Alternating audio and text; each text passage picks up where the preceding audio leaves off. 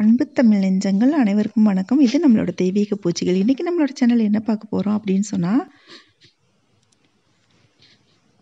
மற்றவர்கள் தூங்கும்போது நம்ம வந்துட்டு வீட்டில் விளக்கேற்றலாமா அப்படின்னு சொல்லிட்டு பார்க்கலாங்க.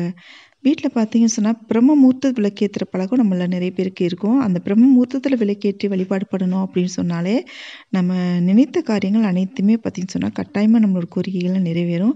சரி அந்த நேரத்துல எல்லாம் எல்லோரும் தூங்கிட்டு இருப்பாங்களே எப்படி நம்ம வந்துட்டு விளக்கேற்றுவது அப்படின்னு சொல்லி நீங்கள் நினைக்கிறீங்களா? அதோட விளக்கம் எல்லாமே நம்ம இந்த பதிவில் பார்க்கலாங்க.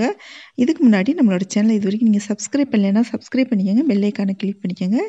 அப்போ தான் நான் போடுற ஒவ்வொரு வீடியோ உங்களோட உடனே நோட்டிஃபிகேஷனாக கிடைக்கும். வாங்க வீடியோக்குள்ளே போகலாம். இப்போ பார்த்தீங்கன்னு சொன்னால் மற்றவர்கள்லாம் தூங்கிட்டு இருப்பாங்க. ஒரு சிலருக்கு பார்த்தீங்கன்னு சொன்னால் ரூமில் இருக்கும். ஒரு சிலருக்கு ரூம் இருக்காது. ஒரே வீட்டுக்குள்ளே தான் தூங்குற மாதிரி இருக்கும். அப்புறம் பார்த்திங்க சொன்னால் ஒரு சிலருக்கு தனியாக பூஜை ரூம் இருக்கும். ஒரு சிலருக்கு வந்துட்டு பூஜை ரூம் இருக்காது. நம்ம அலமாரியில் தான் வந்துட்டு ஒரு சின்ன இடத்துல நம்ம வந்துட்டு சாமி படங்கள் எல்லாத்தையுமே வைக்கிற மாதிரி இருக்குங்க. அந்த மாதிரி எப்படி இருந்தாலும் சரிதாங்க. ஆனால் வந்து மற்றவர்கள் தூங்கும்போது நம்ம விளக்கேற்றி வழிபாடு பண்ணி பூஜை பண்ண முடியலை அப்படின்னு சொன்னால் நாம் வந்துட்டு அவங்களாம் எந்திரிச்சாதான் நம்ம சாமி கும்பிட முடியும் அப்படின்னு சொன்னால் இது வந்து நடக்காத காரியம். அந்த காலத்துலலாம் பார்த்தீங்கன்னு சொன்னால் எல்லாருமே பார்த்தீங்கன்னா பிரம்மமூர்த்தத்து நேரத்தில் எந்திரிச்சு அவங்கவுங்க வேலைகளை பார்க்க ஆரம்பிச்சிருவாங்க. பெண்கள் வந்து பூஜை செஞ்சுட்டு குளிச்சுட்டு பூஜை பண்ணிவிட்டு மற்ற வேலைகளை பார்க்க ஆரம்பிச்சிருவாங்க. மற்றவர்களும் பார்த்திங்க சொன்னால் அதிகாலையில் எழுந்திரிச்சிருவாங்க ஆனால் இப்போ வந்துட்டு அந்த மாதிரி வந்துட்டு இல்லை. இப்போ வந்து எல்லாருமே தூங்கிட்டு இருப்பாங்க. வயதானவர்கள் இருப்பாங்க. குழந்தைங்க இருப்பாங்க. அப்போ பார்த்தீங்கன்னு சொன்னால் நம்ம வீட்டில் வந்துட்டு அதிகாலையில் நம்ம பூஜை சாமி கும்பிட முடியாதுங்க. அதனால் பார்த்தீங்கன்னா காலையில் மற்றவர்கள் தூங்கினாலுமே ஒன்றுமே பிரச்சனை இல்லை. அதுலேயுமே தனி சாமி ரூம் இருந்துச்சு உங்களுக்கு அப்படின்னு சொன்னால் இதில் வந்துட்டு எந்த ஒரு பிரச்சனையுமே இல்லைங்க. நீங்கள் தாராளமாக நீங்கள் விளக்கேற்றி நீங்கள் குளிச்சுட்டு சாமி கும்பிடலாம் பூஜை பண்ணலாம். எல்லாமே பண்ணலாங்க.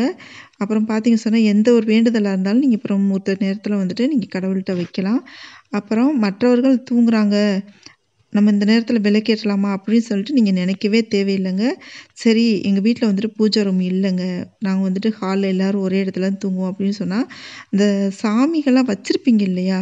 அதுக்கு நேராக வந்து மற்றவர்கள் வந்து படுக்காமல் பார்த்துக்கோங்க அவங்க அந்த பூ அந்த பூஜை பண்ணுற இடத்துல மட்டும் யாரும் இல்லாமல் பார்த்துக்கோங்க அந்த மாதிரி இல்லாமல் கொஞ்சம் தள்ளி அவங்க படுத்திருந்தாங்கன்னா ஒன்றுமே பிரச்சனை இல்லைங்க.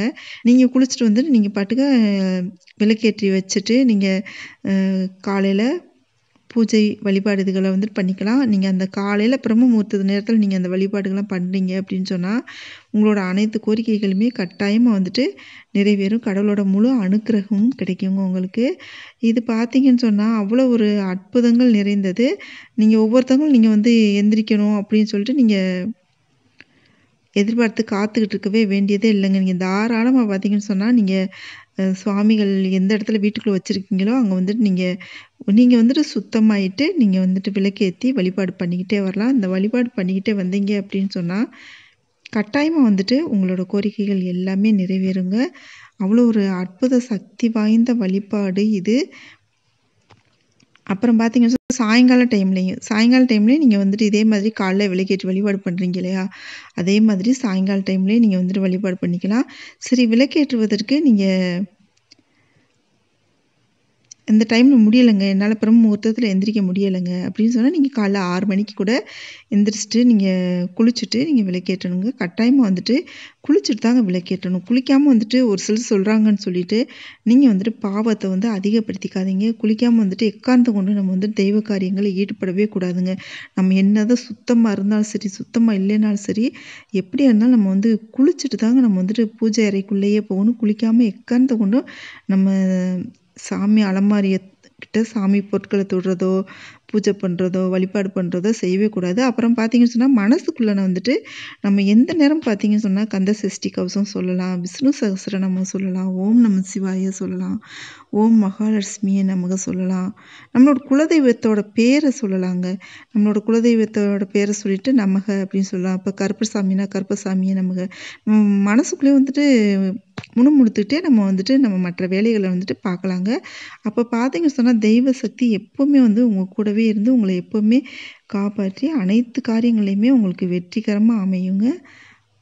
நீங்கள் இது பண்ணி பாருங்கள் ஒரு சிலர் பார்த்தீங்கன்னா உலையில் அரிசி போடும்போதெல்லாம் பார்த்தீங்கன்னு சொன்னால் ஏதாவது ஸ்லோகம் சொல்லிட்டு போடுவாங்க. அப்படி இல்லைன்னா அவங்களோட குலதெய்வத்தோட பேர் இப்போ ஐயனாரா அங்கல பரமேஸ்வரியா அவங்க பேரை சொல்லிட்டு நமக அங்கல பரமேஸ்வரியை நமக அப்புறம் விநாயக பெருமானே நமக. அப்புறம் பார்த்தீங்கன்னு சொன்னால் அப்படிலாம் சொல்லிட்டு அவங்க வந்துட்டு ஒலையில் அரிசி போடும்போது கூட அந்த மாதிரி சொல்லிட்டு ஒரு சிலர் சொல்கிறத நான் பார்த்துருக்கேங்க அந்த மாதிரி வந்து தெய்வங்களோட பேரை வந்துட்டு நீங்கள் மனசுக்குள்ளேயே முணுமுணுத்துட்டு நீங்கள் செ வேலைகள்லாம் செய்ய ஆரம்பிக்கலாங்க. மற்றவர்கள் தூங்குறதுக்கும் இந்த வழிபாடு பண்ணுறதுக்கும் சம்மந்தமே இல்லைங்க. நீங்கள் மட்டும் வந்துட்டு நீங்கள் ஆனால் வந்து அதுக்கு பின்னாடி நீங்கள் தூங்க போகலாமா சரி நான் சீக்கிரமாக எந்திரிச்சிட்டேங்க. பிரம்ம முகூர்த்தத்தில் நான் எந்திரிச்சிட்டேங்க. நான் வந்துட்டு தூங்கலாமா? அதுக்கு பின்னாடி தூங்கலாமா? கட்டாயமாக வந்துட்டு தூங்கக்கூடாதுங்க. நாம் வந்து காலைல பிரம்ம முகூர்த்தத்தில் தெய்வங்கள் எல்லாத்தையுமே நம்ம வீட்டுக்கு வந்திருப்பாங்க. நம்மளுக்கு கண்ணுக்கு தெரியாதுங்க. ஆனால் வந்துட்டு நம்ம விளக்கேற்றி வழிபாடு பண்ணுறோம் இல்லையா? தெய்வங்கள் எல்லாம் நம்ம வீட்டில் வந்து இருப்பாங்க. அவங்கள இருக்க வச்சுட்டு நம்ம அவங்கக்கிட்ட வந்துட்டு நம்ம கதவை பூட்டிட்டு நம்ம போய் தூங்க போகக்கூடாதுங்க.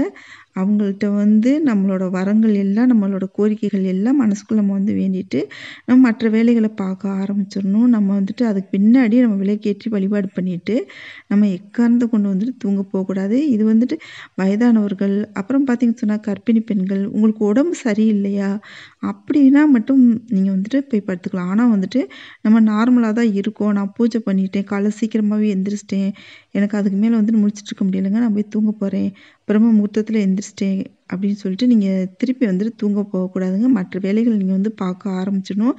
பெண்கள் வந்துட்டு காலையில் நேரத்தில் தூங்கினாலே அந்த வீட்டில் வந்துட்டு லட்சுமி கடாட்சம் வந்துட்டு கிடைக்காதுன்னு சொல்லுவாங்க. அதனால் அதனால் பார்த்தீங்க சொன்னால் காலைல வழிபாடு பூஜைலாம் பண்ணிட்டீங்க அப்படின்னு சொன்னால் நீங்கள் வந்து தூங்க போகாமல் நீங்கள் மற்ற வழியில் பார்த்தீங்கன்னு சொன்னால் வீட்டில் வந்துட்டு மகாலட்சுமியோட அனுக்கிரகம் வந்துட்டு முழுமையாக கிடைக்குங்க. மற்ற அனைத்து தெய்வங்களோட அனுக்கிரகமும் கிடைக்கும். உங்களோட கோரிக்கைகள் எல்லாமே வந்துட்டு கட்டாயமாக வந்துட்டு நிறைவேறுங்க. இந்த பதிவு உங்களுக்கு பிடிச்சிருந்துச்சி அப்படி சொன்னால் நம்ம சேனலை இது வரைக்கும் சப்ஸ்கிரைப் பண்ணலைன்னா சப்ஸ்கிரைப் பண்ணிக்கோங்க பெல்லைக்கானை கிளிக் பண்ணிக்கோங்க. ஃப்ரெண்ட்ஸுக்கு ஷேர் பண்ணுங்கள் லைக் பண்ணுங்கள் கமெண்ட் பண்ணுங்கள் நான் மீண்டும் ஒரு நல்ல பதிவில் சந்திப்போம். நன்றி வணக்கம்.